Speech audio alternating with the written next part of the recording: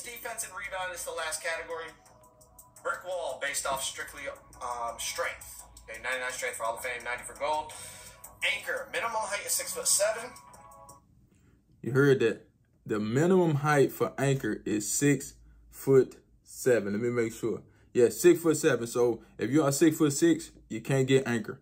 So get that out your head. A lot of people, uh, they probably want that anchor bad. So this is for my lockdowns out there. If you really want to get that anchor, man, you have to go six foot seven. So you have to pay attention to these heights, man. They may be good for you because of what you can get.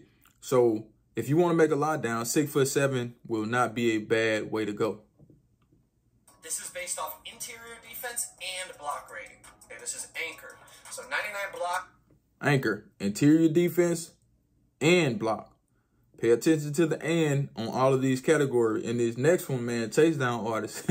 That's crazy. 85 interior for Hall of Fame, 92 block, uh, 77 interior for gold, so on and so forth. Chase down. Minimum height is six foot three. Hall of Fame, you need 94 block and 71 speed and 83 vertical. So pay attention. It said for a chase down artist, the minimum height is six foot three, which that's not tall at all. Um, you know, so for let's just go to gold for instance.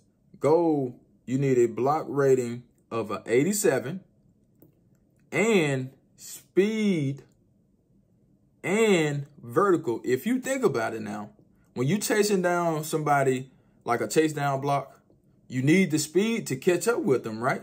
It's not just on the badge this year. You need the attributes to go with it. So you need the speed to actually catch up with the person. You need the block rating to actually block the shot. And you need the vertical to actually get up and block the shot. So that's very, very important this year. A lot of these attributes are tied to these badges and they mean a whole lot. So if you don't have the proper things on your bill, you will not get the proper badges. That makes sense. And I've been saying that for a long time and 2K is finally doing it with this right here. Okay.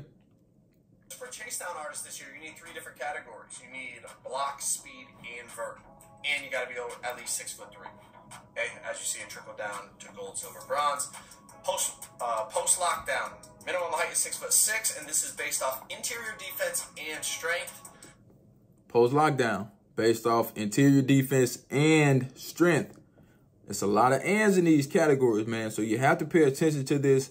If I were you, I would take this screenshot and just print. I mean, this um this thing right here and, and print it out. Not print it out, but I would screenshot it with my phone. And then when I go to make my bill, I will pull it up depending on what category I'm in. I'm on the defense, so if you want the defensive category, you can go ahead and pull this up, and you will have um, um, uh, like a shortcut to making a good bill.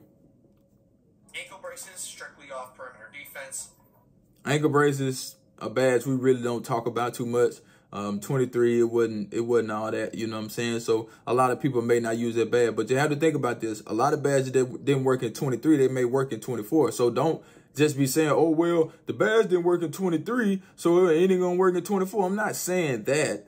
I'm just saying in 23 it didn't work, but they may work in 24. Challenger, clamps this year, it's not just perimeter, it's perimeter and strength. Now the strength Did y'all hear that now? Clamps is perimeter defense and strength. Come on now. They putting their strength. The strength is important, man. I don't care what nobody say. They let you know that it's important with the way that they adding it to these categories. So if you want certain badges, man, you have to have that strength, man. Okay, strength is going to be very important. And a lot of people, they're going to make that bill. And they're not going to add strength saying, oh, strength ain't important. Yes, it is. That's that's showing you strength is important right there. Anytime you look at these categories and you see strength added to some of these badges, then that lets you know that it is very important. So don't sleep on the fact that you need strength. I'm not saying go out there and, and, and do a 90 something strength. No, I'm not saying that. But I am saying you need some strength on these bills to go out there and compete because everybody else is going to have it. You're going to be the main one without strength and you're going to be small. That don't make no sense to me. You don't need a ton, but you do have to invest some into strength to get clamps, right? Hall of Fame is 99 perimeter and 60 strength, 90 for gold, 93, 55, silver 85, 50, and bronze 75 45. So you do have to invest some into strength to be able to get clamps, and obviously clamps helps with bump animation, so it does make sense that you would need at least some strength. Fast feet is Okay, so with the clamps, it's not like he said, it's not high strength, but you need some. You know what I'm saying? Like it, it don't have to be super high or whatever. And uh, when I be talking, to like my glass down like this here, like a granddad. What y'all think? Leave them like that? 50, 750. Leave them like this, man. 750. Then we gonna do that. We gonna do it. We're gonna try to leave them. I need to hold my head up more like this. Head up high so I can talk to y'all, man, like this stiff neck. Stiff neck. but uh yeah, with the with the um clamps, man, make sure you have that perimeter defense and make sure you have that strength. Defending badge that helps you slide your feet laterally quicker. I talked to Wolf who worked tirelessly on the builder and on 2K24. And he talked about this badge a lot and how he thinks it's going to be a, a, a, good badge for lockdowns. Maximum height is six. What? Oh, he talking about uh, fast feet. He talking about the fast feet badge now. So that's perimeter defense and acceleration. Like, come on now. Two things tied into one badge. You gotta have it, man. You gotta have it.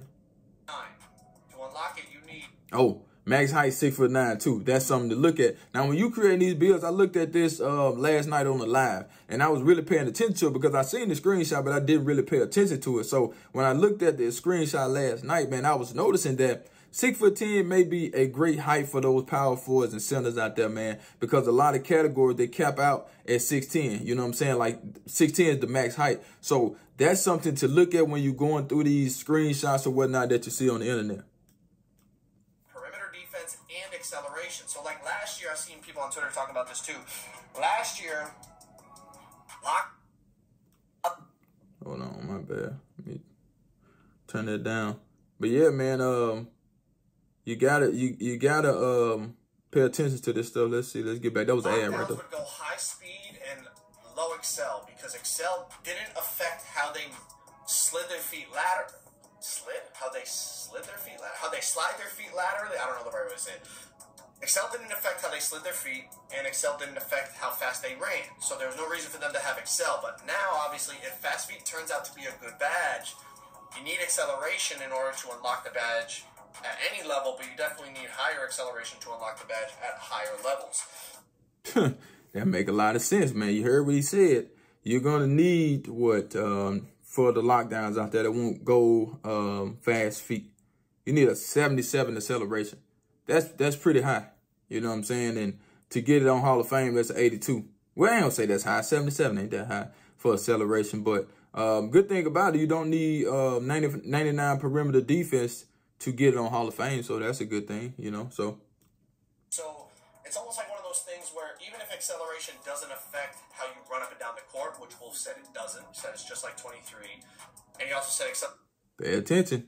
He said it's just like 23. Acceleration don't uh, determine how fast you run up and down the court.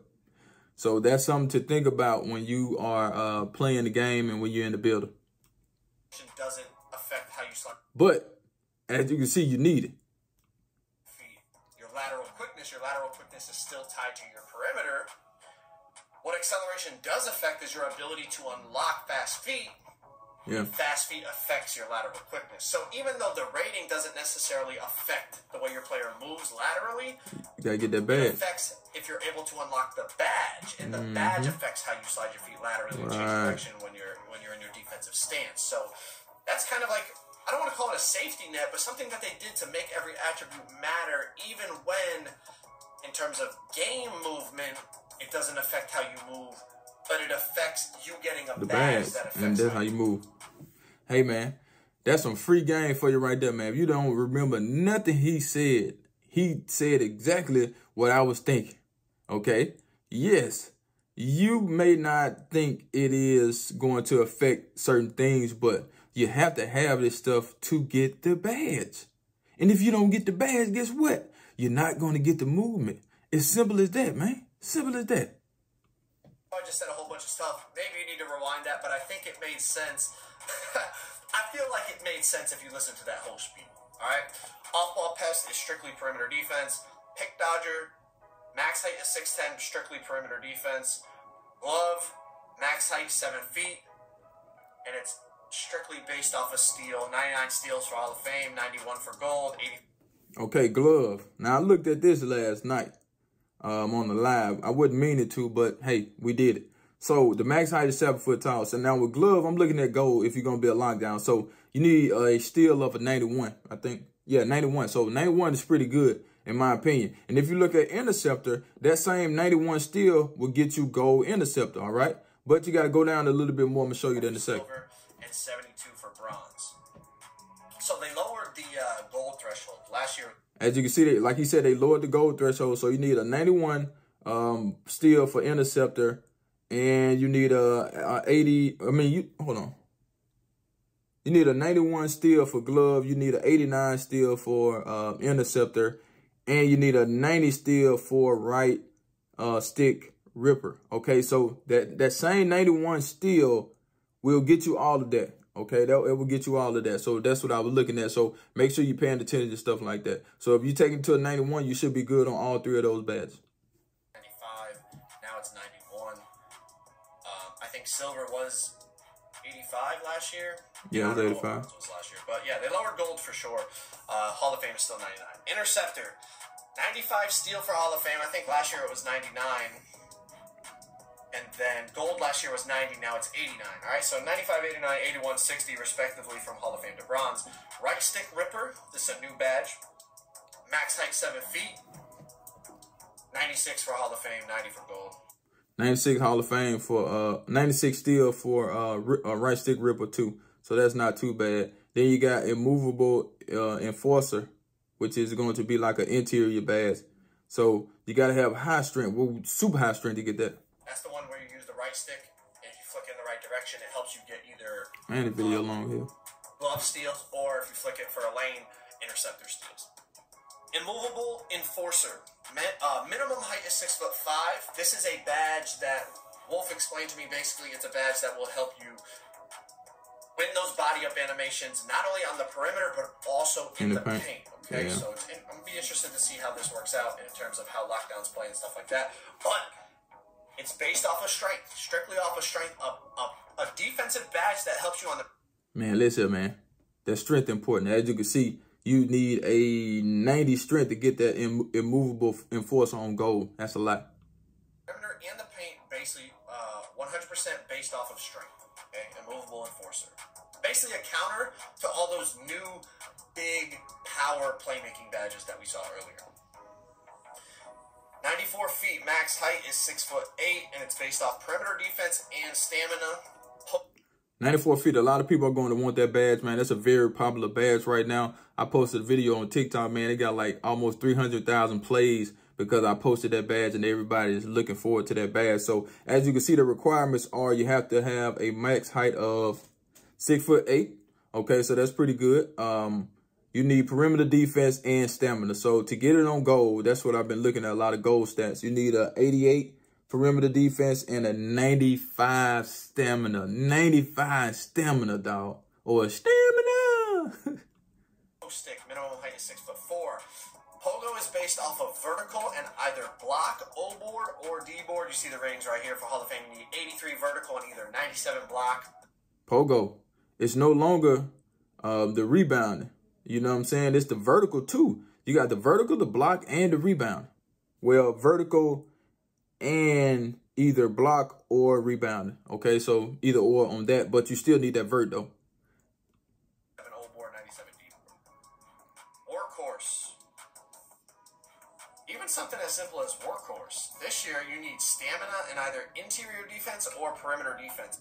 Just think about this. This makes sense for uh for workhorse. You need you need stamina and interior defense or perimeter defense. But stamina is the key. Think about it. Hall of Fame, you need a 99 stamina and either 93 interior or 94 perimeter. Like, that's pretty expensive for a badge like Workhorse, you know what I mean? I forget what Workhorse was tied to last year. I think, I don't even remember. I think it might have been just been interior, and I think it was pretty cheap. I could be yeah, 100% wrong. I'm well, not sure about cheap. Workhorse. Yeah, no. I'm a scorer. I don't, I'm not making a lot. Um, last but not least, the two last badges, rebounding badges. Box out beast, minimum height six foot three. Box. Box out beast, man. We need strength and either offensive or defensive rebound to get box out beast, which makes sense. But in order to get it on gold, man, y'all got to pay attention to the centers out there. Just pay attention to that. This year is based off strength and either O board or D board. You see, for Hall of Fame, you need 90 strength and either 93 O board, 93 D board. And last but not least, we have Rebound Chaser based off of strictly O board or defensive rebound. 99 for Hall of Fame, 92 for gold, 83 for silver, and 60 for bronze. If you haven't that's pretty much it right there, man. Uh, I appreciate y'all stopping by. I'm going to do some more reviews like this. Let me know if you like the reviews, and we're going to get on up out of here.